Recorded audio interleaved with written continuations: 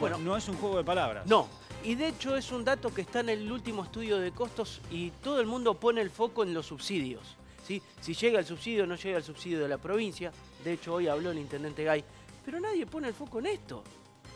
Bajaron la cantidad de pasajeros, en realidad viene bajando, no es una baja considerable, pero se había dicho que con las mejoras, que se ponían aire acondicionado en los colectivos, se buscaba que la gente o que suba más gente al colectivo para el famoso IPK, el índice eh, pasajero kilómetro recorrido, para que sean más pasajeros por cada kilómetro recorrido y eso haga bajar los costos. Sin embargo, cada vez menos gente se sube a los colectivos. Es una situación que se da en Bahía Blanca y que preocupa mucho porque desfinancia el sistema y por eso uno de los objetivos de esta segunda gestión de Héctor Gay es hacer una modificación en el sistema de, transporte de pasajeros en Bahía Blanca para tratar de incrementar estos números, especialmente el IPK, que es uno de los eh, principales números, una de las principales variables para determinar los costos. Este año se lleva a cabo la licitación de las líneas de colectivo, otra vez a la licitación todo el sistema público de transporte de pasajeros y quizás este sea un punto a tener en cuenta. ¿Cómo hacer para incentivar a los pasajeros que suban al colectivo? Quizás el valor del boleto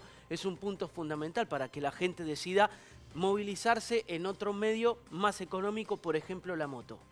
Sí, entonces está en un eh, círculo vicioso. El pasajero no se suba al colectivo, esto hace que se incrementen los costos y haya que incrementar el boleto generando otra vez la misma rueda, ¿no? ¿Cómo se sale de este círculo? Bueno, vamos a hablar primero de la suba del boleto. ¿Cómo ha ido subiendo el boleto? ¿Cómo evolucionó el boleto de colectivos en los últimos tres años? Vos fíjate lo que ha sido el precio esto es tarifa plana, siempre hay que tener en cuenta. Esto es sin los descuentos de pasajeros frecuentes, sin los descuentos que tienen jubilados y pensionados, beneficiarios de asignación universal por hijo, empleadas domésticas y demás. Esto es la tarifa plana. De todas formas, todas las tarifas de todos los tipos de boletos siguieron una escalera similar, ¿no? Más allá de que los precios fueron más bajos, el incremento porcentualmente fue parecido. Fíjate que en enero del 2017 el boleto estaba 12 pesos con 55. Recién se aumentó un año y un mes después, febrero del 2018, 17 pesos con 30. Se tardó un poco más, fue eh, un aumento muy discutido. ¿Por qué? Porque se impuso un aumento por decreto a mitad de año. Una cláusula gatillo, por decirlo de alguna manera, eh, jugando el paralelismo con las paritarias, del boleto de colectivo. Por eso en julio del 2018 se incrementó a 18,95. Acá sin votación, directamente se tomó en cuenta la, la variación de los costos y se subió el boleto. Enero del 2019, 25,25. Fíjate vos cómo ha ido escalando. Julio, otra vez la actualización, 29,85. Y esto es lo que se está proponiendo ahora. Esto es lo que se está proponiendo a partir de eh, enero de este año, que seguramente la semana que viene se va a terminar de aprobar. 38 pesos con 45 la tarifa plana. Y bueno, esto acá en los números ya es gráfico, ya acá te das cuenta cómo ha ido subiendo del 2017 hasta ahora. ¿Al ritmo de la inflación? Bueno, esa es la pregunta. Uno puede ver incremento, también cómo se acelera en ciertas situaciones, como por ejemplo en esta etapa entre julio y enero, donde la inflación fue muy elevada, pero vos me vas a tener que decir si esto siguió una línea inflacionaria. Bueno, y vamos a ver el siguiente dato. Vos fijate que si se aprueba la semana que viene el aumento, subiría un 206% en tres años. Más que la inflación. De 25, eh, en, en, total el aumento sería de tres años 25 pesos con 90 más por pasaje. De 12,55 a 38,45. Tarifa plana, siempre aclaro esto, sin los descuentos. Después, sobre la tarifa plana se, se aplican los descuentos para pasajeros frecuentes y todas las categorías que reciben descuentos. Pero vos fijate lo que ha subido, más que la inflación. En tres años no tuvimos 206% de inflación. Bueno, esto, esto, también es lo que puede explicar el tema de la cantidad de pasajeros. Bueno, ¿y qué pasa con los pasajeros? Que es el siguiente dato a tener en cuenta, porque vimos todo lo que ha subido el boleto de colectivos. Y vos fíjate, estos son los datos que refleja el estudio de costos. ¿sí? Esto lo va mostrando el estudio de costos que elabora la propia Dirección de Tránsito de la Municipalidad. Diciembre del 2016, 25.104.000 pasajeros. En el 2017 hubo una suba, fíjate, bastante considerable, de 1.700.000 y pico de pasajeros, 750.000, ¿sí? Eh, 26.853.983 pasajeros.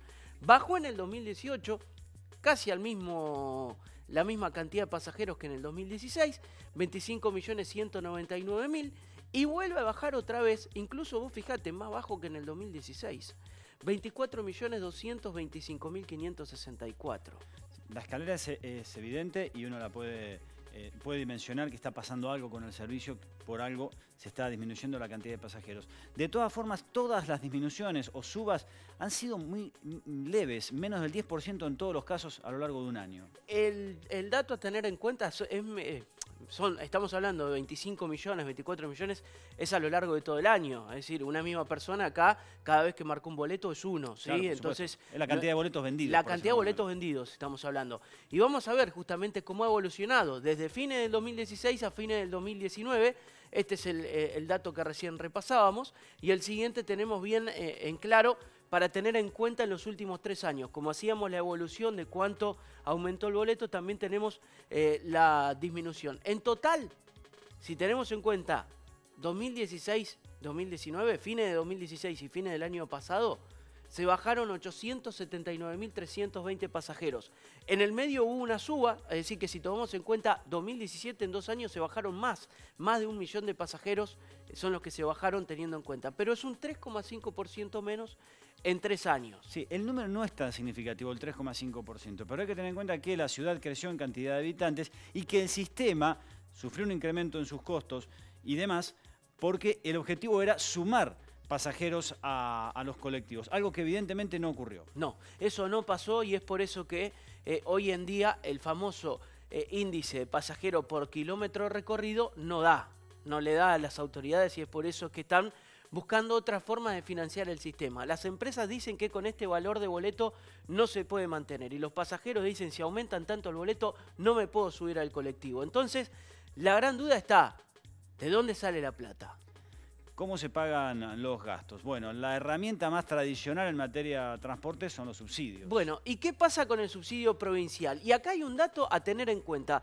En la reunión que mantuvo ayer eh, Kisilov con distintos intendentes de la provincia buscando destrabar eh, varios puntos, Gay aprovechó para plantearle la necesidad de recibir un subsidio, un subsidio que antes le otorgaba Nación, pero que Macri después se lo pasó a Vidal. Entonces, a partir de ahora, los subsidios al transporte los paga la provincia de Buenos Aires, en toda la provincia, obviamente en Bahía Blanca. Vos fíjate, el año pasado se recibieron 293 millones de pesos, un poquito más, eh, para el subsidio en el transporte. En este estudio de costos, la municipalidad estipula que va a recibir, vos fíjate, casi un 61% más, 472 millones de pesos por parte de la provincia. ¿Y este número de dónde lo sacaron? Bueno, estiman. Es, una, estimación, Porque Kisilov no dijo, vamos a poner esta plata. En realidad Kisilov dijo, nosotros no tenemos plata, la semana que viene te digo. Esa fue la respuesta del gobernador. Ahora, para calcular el precio de 38 pesos con 45 de tarifa plana, la municipalidad considera que va a recibir esta plata de la provincia. 472 millones de pesos, que es un 60,89% más que el año pasado. Ahora, ¿Kisilov va a mandar esto? Es una pregunta que todavía nadie responde. Por eso la oposición se negaba a tratar el aumento del boleto cuando todavía no se sabe si esto va a llegar o no va a llegar. Bueno, bueno el debate está abierto. Y se suma al debate, y hay que decirlo, que ayer hubo una conferencia de prensa a nivel nacional, autoridades nacionales, anunciando que por 180 días se iba a congelar el precio del transporte público de pasajeros y de trenes también, o sea, de colectivos y de trenes, pero claro, no rige en Bahía Blanca eso. No, solamente rige para Capital y Gran Buenos Aires. El resto del país, en ningún lado. Y, insta a las autoridades de las distintas provincias a que adopten una medida similar. Pero bueno, todo es plata. Hay que poner plata si uno quiere congelar los precios. Lo tiene que poner el Estado para pagar el combustible y los salarios de los trabajadores, entre otros gastos. Bueno, todavía no hubo una respuesta de Kisilov si va a mandar o no va a mandar los 472 millones de pesos. Ni tampoco hubo una respuesta de Kisilov si va a mandar más plata para el boleto estudiantil gratuito. De todas maneras, la semana que viene seguramente el Consejo Deliberante va a votar y va a aprobar el aumento en la tarifa plana. Y después se verá, si llega más plata se baja el boleto, si llega menos plata se sube el boleto. Pero la semana que viene sí o sí se va a aumentar el boleto y eso fue parte de lo que anticipó hoy el intendente Héctor Gay. En una semana tenemos que tomar una decisión eh, hoy este, la situación es muy simple, o se aumenta el boleto o se logra un subsidio de parte de provincia, que es lo que le planteamos ayer a Kichilov. Kichilov dice que no hay plata, pero que lo va a estudiar y que la semana que viene nos responde. Se puede dar también que, que se debata en el Consejo el aumento del boleto y que después, si viene el subsidio, se dé marcha atrás. Pero bueno, hoy este, el tema está muy en el límite. De, algún modo las empresas están al límite, el sistema viene, viene complicado y, y debería este, irse a un, a un aumento. Si se suple con más subsidio, bueno, no hay problema. No veo que sea hoy la solución, por lo menos para el interior. Yo ahora cuando me reúna con la ministra el 16 voy a plantear algunas cuestiones pendientes, el tema del boleto educativo, por ejemplo. Eh, nosotros vamos a reiterar nuestra predisposición a aportar el 50%, pese a que hoy los estudiantes que reciben el boleto gratuito, eh, todo se los paga provincia. Es decir, un estudiante de La Plata hoy recibe el 100% del subsidio de parte de provincia. Eh, es, es, complejo extenderlo al interior, pero tenemos el mismo derecho. Igualmente, si bien